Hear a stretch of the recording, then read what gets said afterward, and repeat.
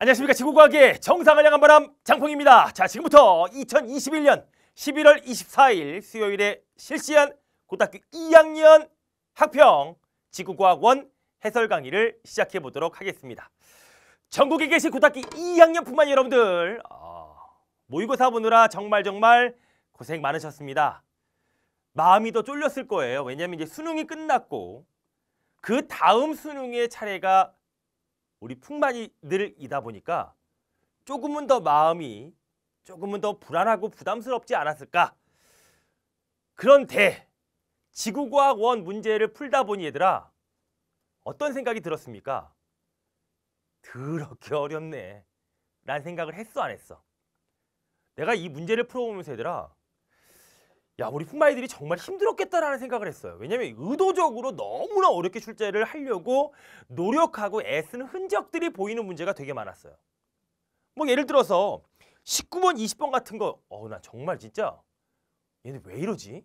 할 정도로 굉장히 어렵게 출제를 했습니다. 고등학교 2학년 11월 모의고사인데도 불구하고.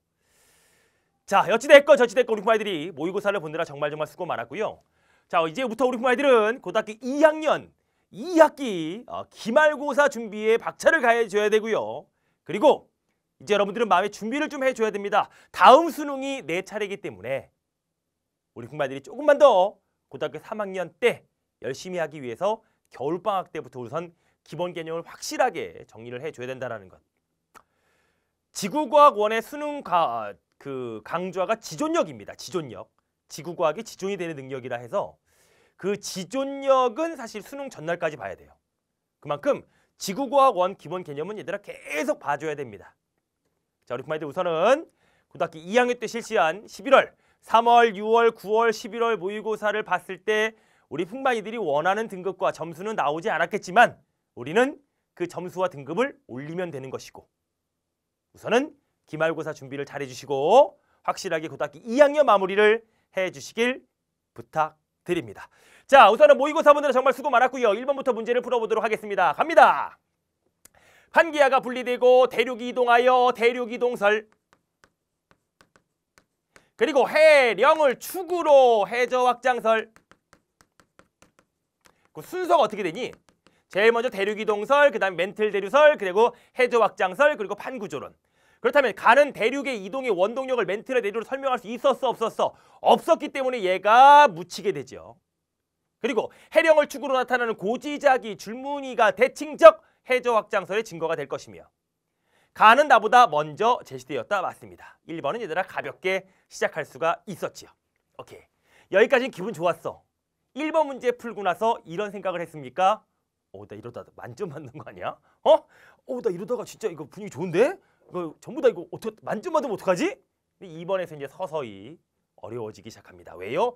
아니 원래 얘들아 신생대, 중생대, 고생대 이렇게 나와야 되는데 여기 보니까 얘들아 백악기, 팔레오기, 제4기가 나왔어요. 백악기라는 건 뭐야? 트쥐백 중생대입니다. 중생대, 트쥐백 트라이아스기 그리고 쥐라기, 백악기 중생대고요.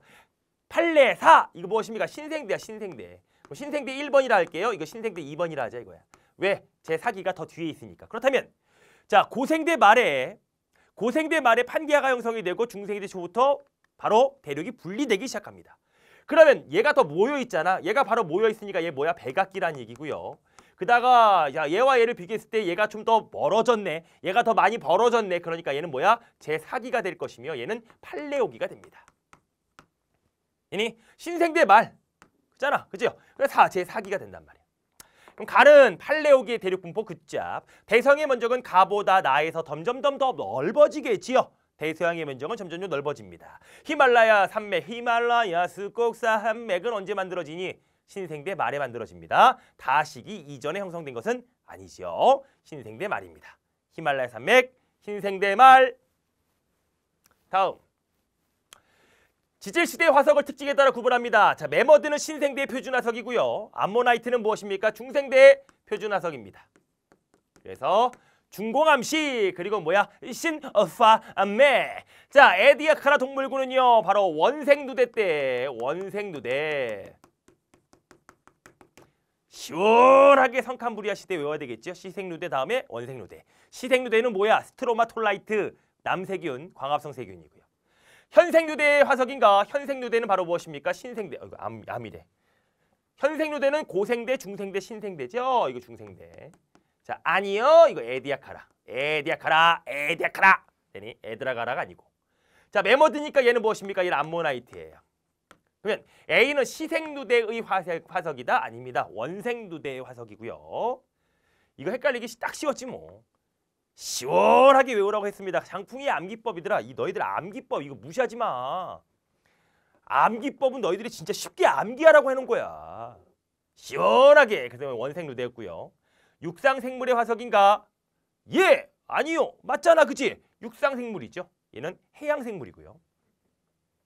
비가 번성한 시대의 기후는 현재보다 대체로 비가 번성했다는 건 중생대입니다. 중생대는 빙하기가 없었지요. 빙하기가 없었습니다. 대체로 온난하였다. 중생대 가장 큰 특징이 바로 무엇이었습니까? 빙하기가 없다.